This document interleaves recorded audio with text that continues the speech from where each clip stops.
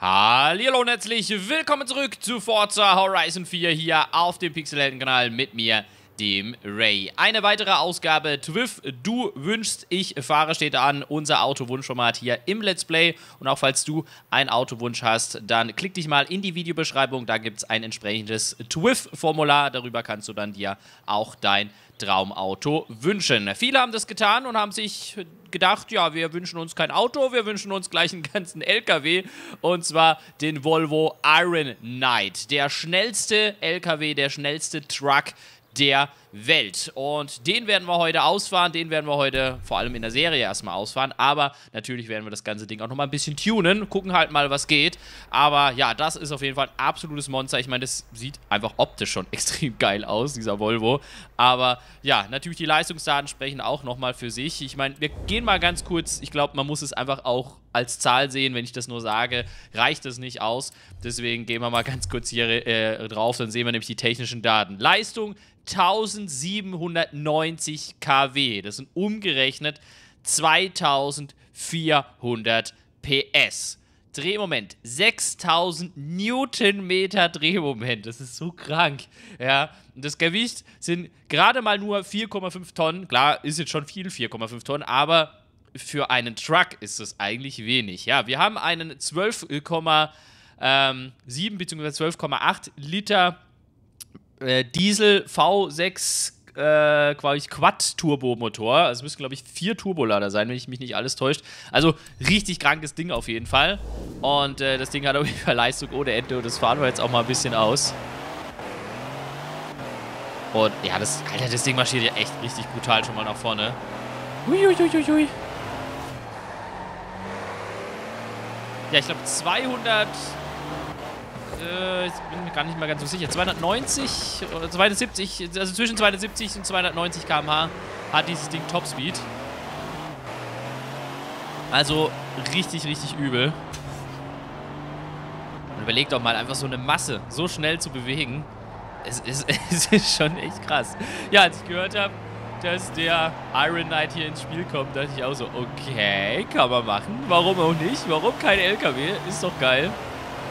Ja, guck mal, wie das Ding durchmarschiert. Auf der Autobahn. Überleg mal, da kommt so ein LKW auf der Autobahn hier mit 290 Sachen anmarschiert. Krasser Scheiß. Krasser Scheiß. Ey, das ist schon heftig. Das ist schon echt eine heftige Nummer. 300 schaffen wir sogar jetzt hier. 10. Gang rein.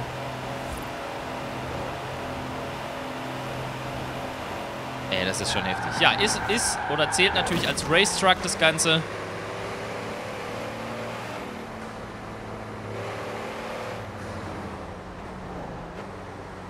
Und wurde natürlich zu einem Zweck gebaut, natürlich wirklich der schnellste Truck und der stärkste Truck der Welt zu sein. Und das ist definitiv gelungen. Und ja, viele haben sich natürlich den Maximalaufbau gewünscht. Die wollen natürlich wissen, was da so maximal geht. Ähm, ich kann euch aber gleich schon mal sagen, am Motor kann man nichts mehr verändern. Der ist tatsächlich hier auf der maximalen Ausbaustufe. Ja, der eine oder andere sagt jetzt vielleicht, schade, äh, 2400 PS reichen ja noch nicht.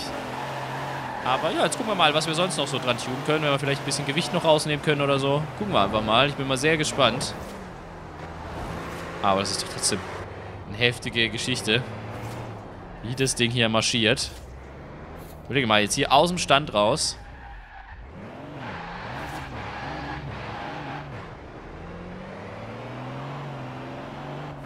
Geht das Ding richtig nach vorne. Uiuiui. Aufpassen.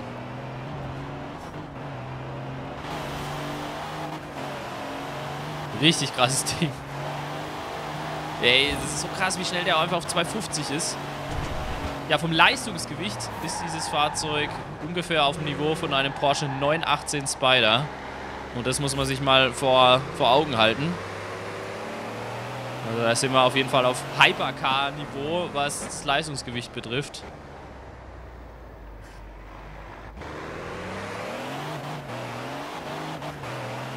Wahnsinn. Einfach nur Wahnsinn. Ich feiere das richtig. Und ich glaube, ich würde sagen, wir fahren jetzt auch erstmal ein kleines Rennen. Ähm, da vorne haben wir direkt mal eins. In der Serie erstmal mit dem Ding. Um mal zu gucken, wie sich der Iron Knight so anstellt, bevor wir dann gleich noch was dran verändern werden. Aber ich finde es geil, dass so Racetracks mit dabei sind. Wir haben ja auch den Mercedes Racetrack mit drin. Und vielleicht kommt ja noch der ein oder andere, aber klar, der schnellste der Welt, der darf natürlich nicht fehlen. Und ich finde gerade in so einer offenen Welt, warum nicht? Warum nicht? Also manche haben sich ja drüber echauffiert, äh, jetzt kommen, machen sie noch LKWs rein, was soll denn das? Also ganz ehrlich, ich finde es überhaupt nicht schlimm, ist doch cool. Ich finde es cool, dass sowas mit dabei ist. Ist halt einfach mal was anderes. Ja, man muss ja nicht die ganze Zeit damit fahren, aber das einfach dabei ist, ist doch schön. So, da haben wir auch den Mercedes Race Truck mit dabei und eben auch die Volvos und dann gucken wir mal, wie wir uns jetzt hier anstellen.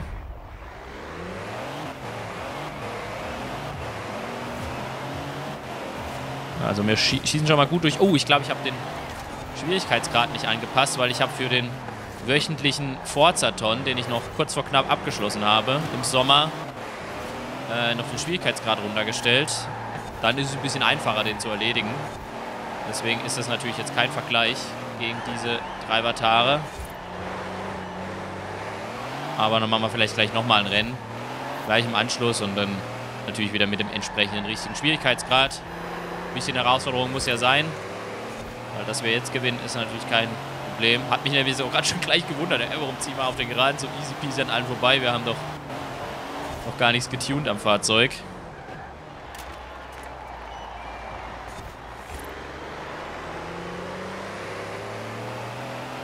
Richtiges Geschoss, ey. Krasser Scheiß.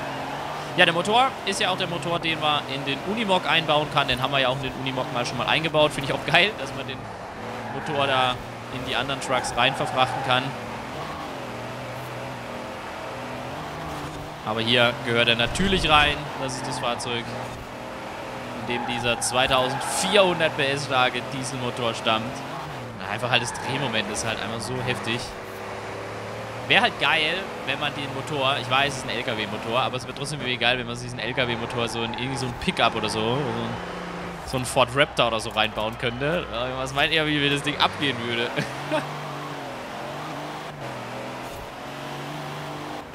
wer weiß. Vielleicht gibt es ja das ein oder andere Auto hier im Spiel.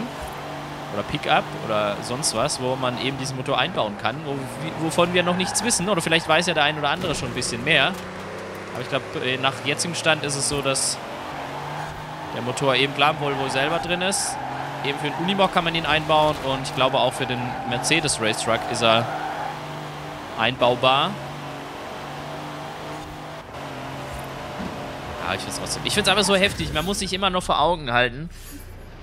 Das sind immer noch viereinhalb Tonnen Gewicht, was man hier durch die Gegend fährt. Und das in so einer Affengeschwindigkeit. Ey, da, ich, ich, ich garantiere euch, dass die meisten Menschen in Deutschland, die ein Auto besitzen, äh, nicht mit 250 rumeiern können, sondern da ist halt meistens bei wahrscheinlich 200 Schluss. Ja? Ich, und ich weiß, viele von euch wahrscheinlich, die zumindest mal einen Führerschein haben und ein eigenes Auto haben, haben wahrscheinlich eher ein sportliches Auto, weil die Interesse um Autos größer ist. Aber wie viel, in Anführungsstrichen, normallos, sage ich mal, gibt es hier draußen, die eben halt, ja, von mir aus ein Polo fahren oder ein Corsa fahren oder sonst was fahren und die fahren halt dann ihre 180 Sachen oder 200, wenn man Glück hat und dann hat sich das, aber das Ding fährt ich einfach mal, ja, wenn es gut läuft, 300 Sachen, ey, und das Ding sind viereinhalb Tonnen. Also ich komme, ihr merkt, ich komme da nicht so ganz drauf klar. Ich finde es einfach so, ah. Überlegt doch auch mal, wenn so eine, so, so eine Masse einfach auf euch zukommt. Und ich meine, guckt euch einfach mal so ein so ein LKW-Rennen an, also diese Race-Trucks auf der Rennstrecke, wenn diese, diese Mehrtonner da durch die Strecke ballern, durch die Kurve ballern. Ich finde das einfach nur abnormal krank, ja. Muss man wirklich so sagen. So, gut, wir machen jetzt nochmal ganz schnell irgendein anderes Rennen. Äh, was machen wir denn? Vielleicht so ein kleines. Ne, komm, machen wir nochmal so ein Sprintrennen. Einfach ganz schnell. Und dann tunen wir und machen wir da auch nochmal ein paar Rennen. Ich meine, viel kann man nicht tunen. Ich habe da im Vorfeld schon geguckt, aber ein bisschen was geht. Und der Herbst kommt in 60 Minuten. Ja, ich nehme gerade noch vor dem Herbstwechsel auf. Dass wir noch eine Sommerfolge bekommen. So, äh, ja, das machen wir schnell. Und jetzt aber den richtigen Schwierigkeitsgrad. Wir wollen ja da ein bisschen Konkurrenz haben. Das war jetzt nur zum Aufwärmen gerade eben, ja. Völle Absicht, dass ich den Schwierigkeitsgrad niedrig gehalten habe. Ja, ich denke mal, den äh, Mercedes, den Tankpool 24 Racing Truck werden wir sicherlich auch mal noch irgendwann irgendwann bewegen. Aber ja, im Zuge des Autounformats habt ihr euch eben für den Iron Knight entschieden und ich kann es euch auch nicht verdenken. Es ist halt auch mal was Geiles und mal was anderes. So, am Start kommen wir aber trotzdem ganz gut weg. Das könnte auch vielleicht daran liegen, dass wir halt einfach manuell selber schalten. Und dadurch vielleicht ein bisschen Vorteil auf den Geraden oder beim Beschleunigen rauskitzeln können im Vergleich zu den unschlagbaren Driver-Toren, die gar nicht so unschlagbar sind. Upsala. Ja, aber das Runterschalten soll ich auch nicht vergessen.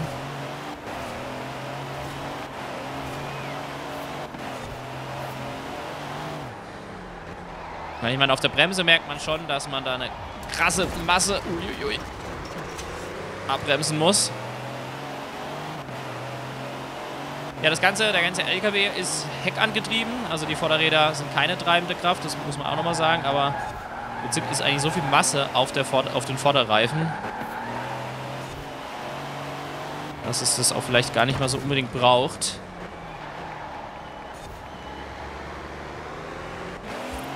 Oder überhaupt die ganze Masse überhaupt des Fahrzeugs. Weil das war jetzt gerade ein Denkfehler. Die Masse müsste ja eigentlich eher auf den Hinterreifen liegen, dass es nicht durchdreht, aber okay. Vergesst, was ich gesagt habe. Aber die Gesamtmasse halt natürlich helfen da wahrscheinlich auch. Und ich glaube auch, wir haben extrem breite Schlappen hinten drauf. So, und der eine Driver da vorne zieht mal wieder weg, wie immer. Immer dieser eine, der irgendwie sich von der ganzen Gruppe trennt. Ist so ein, ja, schon immer in Forza so gewesen. Es gibt immer drei Driver die vorne wegfahren und einer der dreien, der ist nochmal ein bisschen krasser. Gut, dass wir die anderen zwei schon mal hinter uns haben. Ja, und wir haben ein bisschen schneller als der Rest vom Fest sind.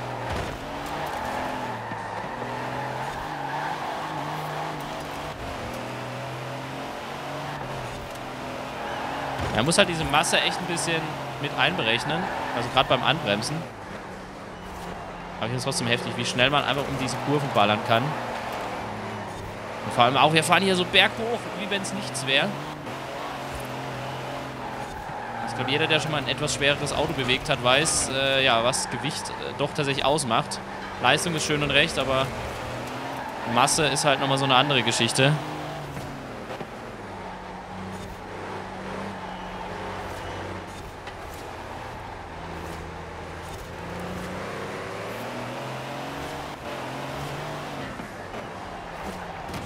Leichter Kontakt, das muss aber sein. Und er hat ja Vollgas durch.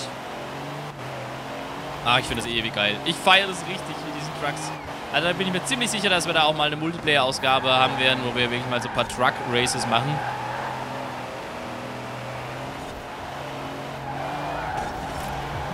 B.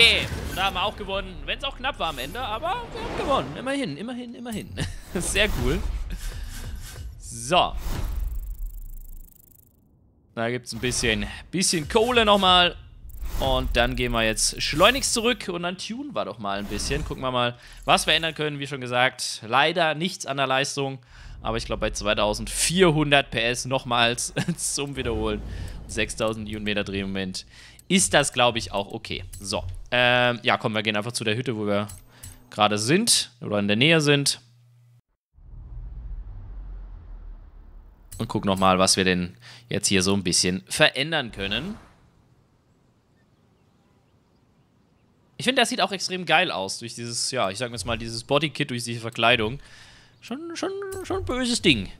So, individuelles Upgrade, und dann gucken wir nochmal. Also, wir könnten auf ein Allrad umbauen, wobei da ich echt sagen muss, ich weiß nicht, ob wir das wirklich bräuchten bei dem Fahrzeug. Ob der wirklich ein Allrad braucht, weil der schiebt eigentlich so richtig gut an.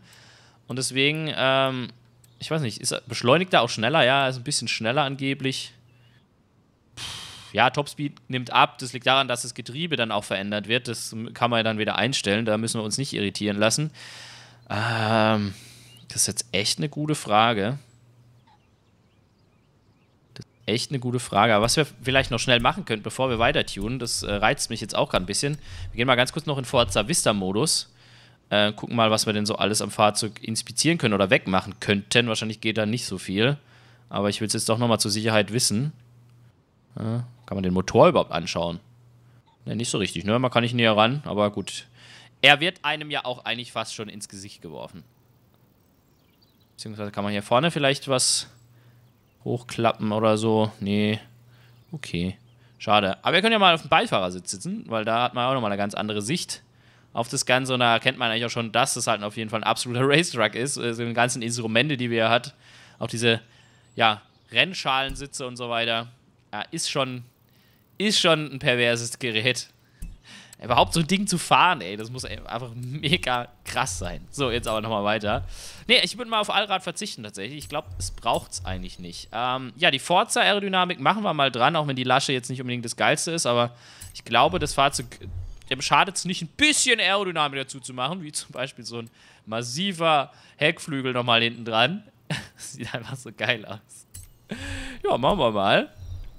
Dann, Reifen können wir vorne von 315er Reifen, die aus, richtig schmal aussehen, können wir 345er Reifen machen. Und das sieht immer noch so schmal aus bei dem Fahrzeug und das ist trotzdem so krass. Und hinten haben wir schon 495er Reifen und können auf 515er Schlappen gehen. Alter, das sind ja richtige Walzen. Aber geil. Ja, Felgen würde ich lassen, die LKW-Felgen, die passen ja perfekt zum Fahrzeug. Wir könnten die Kupplung noch ändern. Und wir könnten äh, nochmal Rennbremsen, bessere Bremsen, okay. Und das war's, glaube ich. Wir könnten noch Offroad-Federung, das wollen wir aber nicht. Also viel mehr, wie ihr seht, können wir gar nicht ändern. Und deswegen sage ich auch, also ich glaube, der Allrad ist eigentlich unnötig bei einem Fahrzeug. Das Ding hat so viel Grip. Jetzt durch die zusätzliche Aerodynamik müsste das Ding ja nochmal krasser um die Kurven schieben. Wir gehen trotzdem mal ganz kurz ins Feintuning. Ähm, würde ganz gerne ein bisschen da was rausnehmen. Und bei der Aerodynamik ich würde ganz gern aber mal echt volle Aerodynamik fahren, weil mich interessieren würde, wie schnell das Ding um die Kurven gehen kann und wie viel Anpressdruck wir erzeugen können. Ich meine, 600, boah. Topspeed ist immer noch bei 286,7 angegeben. Das ist schon eine Ansage. Der Rest, ähm, ja, würde ich erstmal, ehrlich gesagt, sogar lassen. Ähm, bin jetzt gerade am gucken, vielleicht hinten das Stabi ein bisschen, bisschen härter. Ich meine, das ist ja schon super weich eingestellt. Aber ein bisschen würde ich da vielleicht doch noch was verändern. Ansonsten lassen wir das erstmal. Er hat ein komplett gesperrtes Diff, sehe ich gerade. Oder habe ich gerade gesehen? Okay. Ja, wir lassen das einfach mal so. Es hat sich ja gut gefahren in der Serie. Warum sollte das jetzt schlechter werden? Alles sieht so geil aus, ey. da fahren wir hier gerade mal die paar Kurven ab.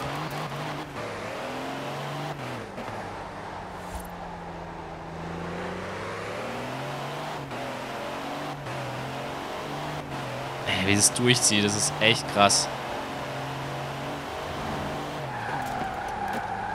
Uiuiui.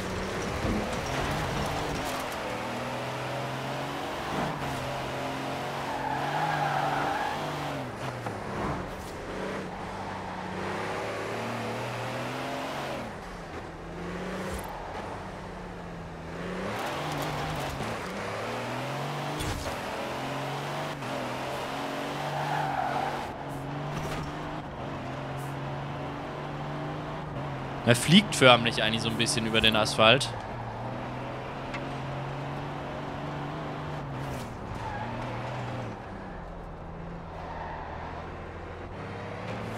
Und wisst ihr, was wir jetzt machen? Wir machen jetzt mal noch ein Straßenrennen.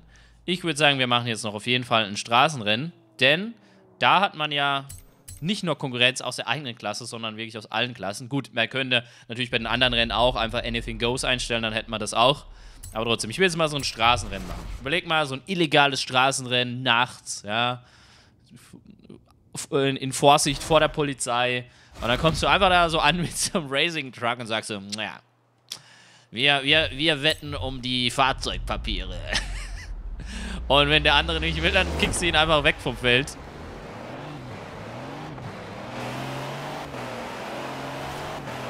Genau, das werde ich jetzt einfach tun. Scheiß drauf. Kommt mir in den Weg, ich ramm euch weg. Alles kein Problem. Ja, mach mal Platz hier, dankeschön. Geil. Ja, durch die zusätzliche Aerodynamik ist er halt tatsächlich nochmal ein bisschen, bisschen, bisschen wendiger, bisschen schneller in den Kurven. Dann guckt euch mal diesen Heckflügel an. Das, ich meine, das ist ja, ist ja nicht zu verachten. Also das ist ja ein Heckflügel, wie so ein Traxxer eigentlich schon fast hat. Oder noch größer eigentlich.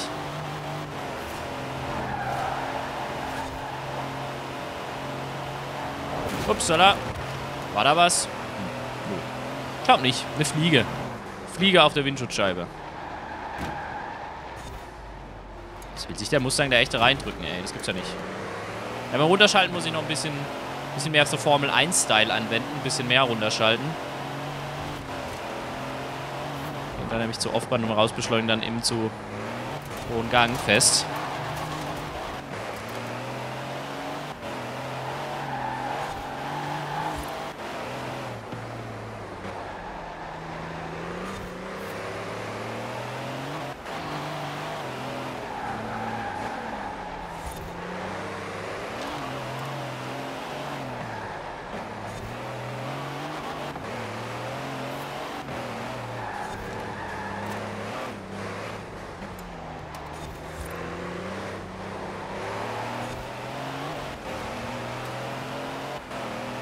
So, jetzt müssen wir mal gucken, ob wir da irgendwie nochmal rankommen können. An die... Ja, okay, da hätte ich schneller durchfahren können.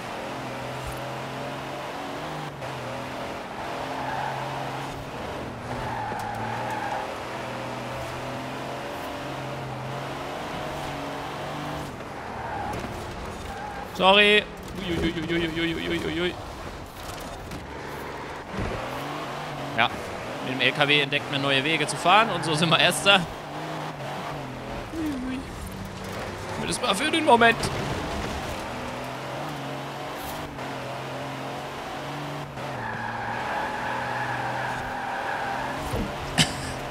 ja, das macht mega laut, das Ding zu fahren, ey. Mega geil.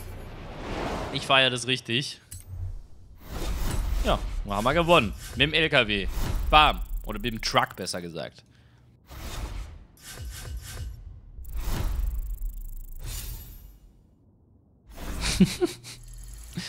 Einfach nur genial. Gut, dann würde ich sagen, ja, machen wir noch mal, ein Rundkursrennen, oder? Ein Rundkursrennen ist mal was anderes. Äh, da vorne haben wir ja direkt mal eins. Da fahren wir doch da mal einfach hin.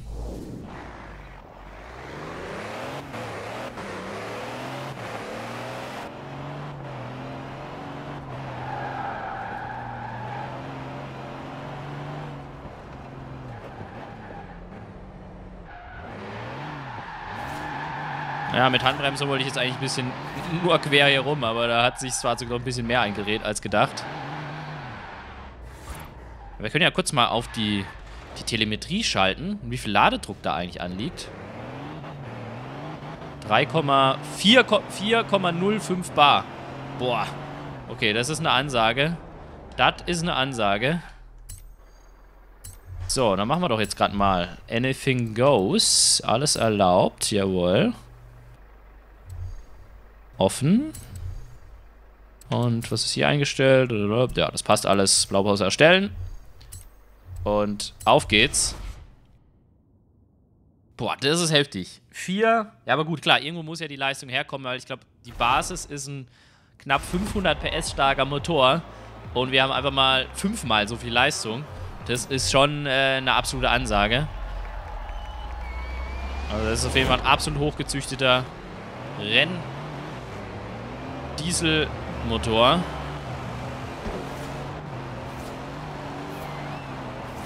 Was süß, fast nur Hot Hatches mit dabei. Hm, irgendwie habe ich wieder eine Fliege auf der Scheibe. Habe ich irgendwas gespürt? Irgend so ein kleiner Widerstand. Ne, wie gesagt, Allrad halte ich für absolut unnötig hier bei dem Fahrzeug einzubauen. Also ich kann mir nicht vorstellen, dass der Allrad hier wirklich einen nennenswerten Vorteil bringt. Außer vielleicht im Winter könnte ich es mir vielleicht vorstellen, wenn man dann im Schnee oder auf dem Eis fahren möchte, aber sonst eigentlich nicht, ehrlich gesagt. Das Ding zieht dann so viel Drehmoment und alles so gut durch. Und wir haben eigentlich kaum durchdrehende Räder, also da muss man es eigentlich schon wirklich drauf anlegen.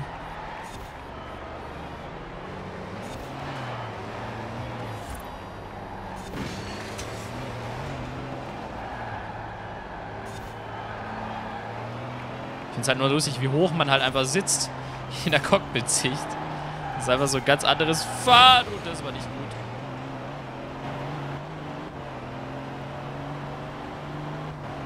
Jetzt versucht man immer den Schwerpunkt so, so tief wie möglich zu legen. Ja, hier wird schwierig, aber man hat einen guten Überblick, das muss man sagen. Man sieht nicht nur den Vordermann, man sieht auch die zehn Leute noch davor. Uiuiui. Da hat sich jetzt wohl gerade bisschen der andere reingedrückt. Das hat man dann doch auch ein bisschen gespürt.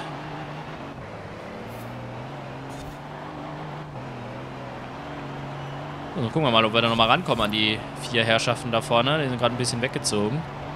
Das kann ich so nicht sitz auf mir sitzen lassen.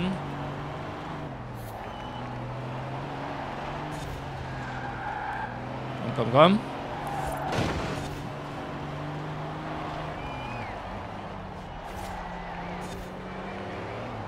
Auf, auf, auf.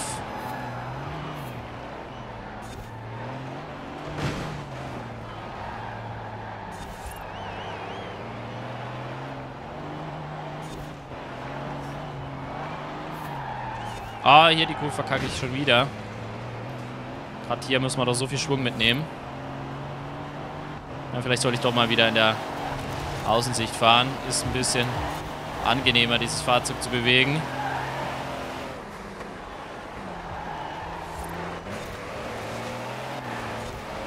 Ja, Rundkurs ist schwierig gegen so kleine PKWs, die halt doch deutlich weniger Masse bewegen müssen.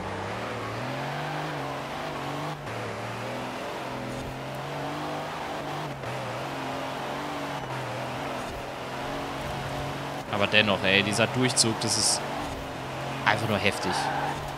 Das ist einfach nur heftig.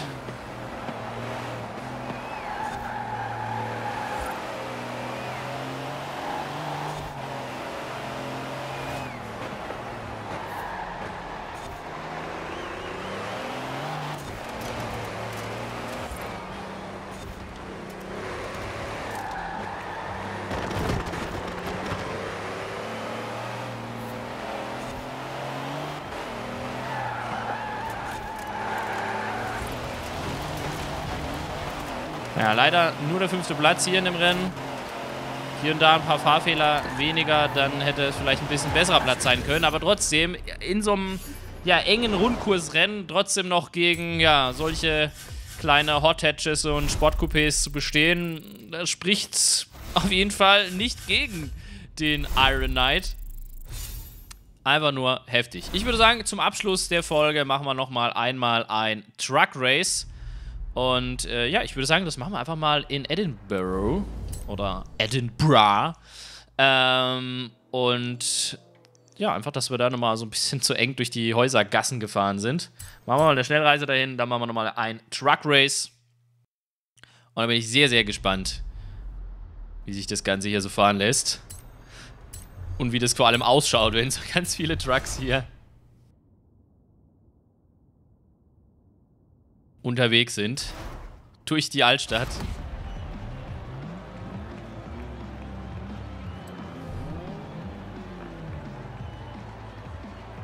So. Starten wir das Ganze.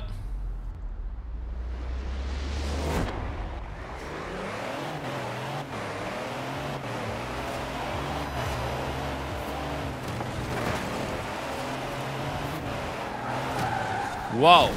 Wow. Was für eine Scheißaktion war das jetzt gerade? Aber egal. Ja, gut. Sind noch im Rennen.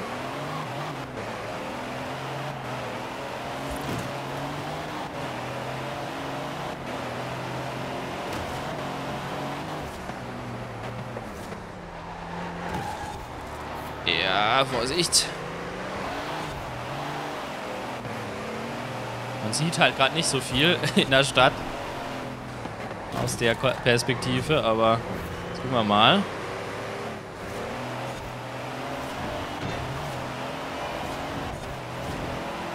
Überlegt, überlegt mal, ihr wohnt in so einer, in einer Großstadt und dann heißt, ja, wir sperren jetzt mal die Straßen, weil wir machen jetzt ein Rennen durch die Stadt. Und dann fragtest du, ja, was fährt denn da? Formel E oder was, was, was, was fährt denn da? Irgendeine Stadtrallye oder was ist denn das? Nö, nö, wir machen mit Race Trucks fahren wir da. Wir haben so 2000 PS. Wir machen ein bisschen jetzt ein bisschen Lärm. Dann scheppern die da durch die Stadt und wenn sie sich verbremsen, dann nehmen sie gleich mal eine komplette Hauswand mit.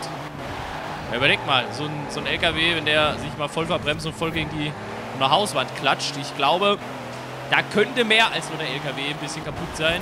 Da ist, glaube ich, auch die Hauswand zerstört.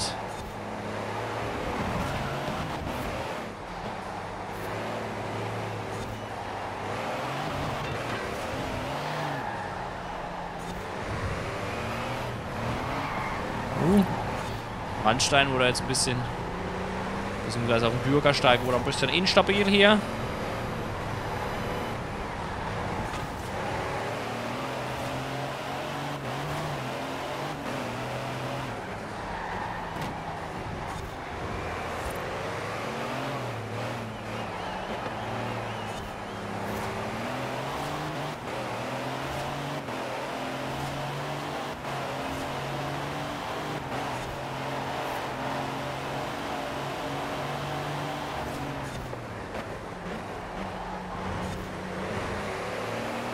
Am Schlussspurt. Wow, ganz wiederum. Das hat ihn jetzt aber mehr Schwung gekostet und dadurch haben wir jetzt auch eine komfortable Führung direkt. Ich dachte, das gibt jetzt so einen Sprint bis hierhin, aber dann halt nicht. Dann nehme ich natürlich den Sieg sehr gerne geschenkt an. Beim großen Preis, beim großen Truck Race Grand Prix in Edinburgh. Mega geil. Das macht richtig Spaß. Also ja, vielen, vielen Dank auf jeden Fall an alle, die über das TWIF-Formular sich diesen Volvo Iron Knight gewünscht haben. Also das hat mir wirklich eine richtige Freude bereitet. Und ich hoffe, euch hat es auch eine Freude bereitet, diese Folge. Leider sind wir schon wieder am Ende dieser Ausgabe. Falls dir die Folge aber gefallen hat, ich sag's an dieser Stelle schon mal, gerne, gerne ein Däumchen nach oben da lassen. Da würde ich mich definitiv darüber freuen. Aber ja, zum Finale drehen wir noch einmal am Rad und guck mal, was wir gewinnen. Oh, guck mal, wir hätten fast den Mercedes-Truck gewonnen. Das wäre ja was gewesen. Ja? Aber es wird tatsächlich eine rote Kinderuhr, was ich auch extrem irgendwie cool finde. Es hat so ein bisschen was eine Kinderuhr, das hat so ein bisschen was von, von Iron Man 3, oder? Also es war zwar, glaube ich, keine rote Uhr, aber es war auf jeden Fall eine Kinderuhr. ja, finde ich schon cool. so, äh, nichtsdestotrotz, wir sind raus. Vielen, vielen Dank fürs Einschalten. Und ich würde mich freuen, wenn du auch das nächste Mal wieder mit dabei bist hier in Forza on 4. Bis dann, mach's gut. Ciao.